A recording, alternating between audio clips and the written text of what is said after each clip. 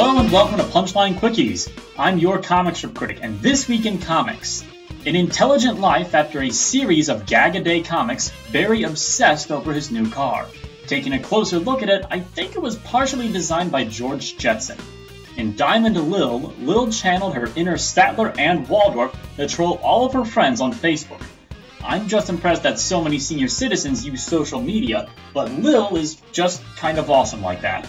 In Vintage Flash Gordon, Flash struggles to redirect a missile from blowing up a plant, but runs into trouble from a would-be helper. In Dustin, Dustin got to meet Calvin. At least, it could be Calvin if you gave Calvin a haircut and some glasses. Same love of tree houses, same red and black striped shirt. I'm saying it's Calvin. In Baby Blues, we saw Baby Wren's love of her new rocking horse.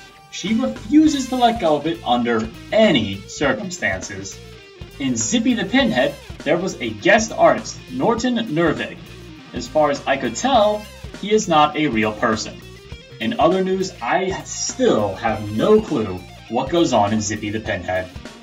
In Pooch Cafe, Poncho freaks out when he realizes that his owner-in-law is a cat person and tries to get Chazz back into the dating game to find a dog lover.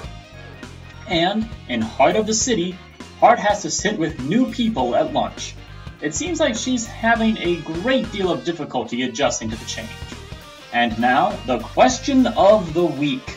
Besides Dick Tracy and Ginger Meggs, are there any other zombie strips you actually like, or at least find tolerable? And the answer is yes. A quick way to get into my good books? Be an adventure comic.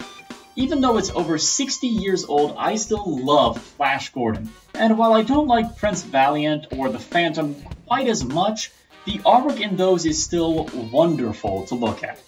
And while I can't honestly say that the Amazing Spider-Man comic is good, it is absolutely hilarious to read. Send in your questions, and until next time, I'm your comic strip critic.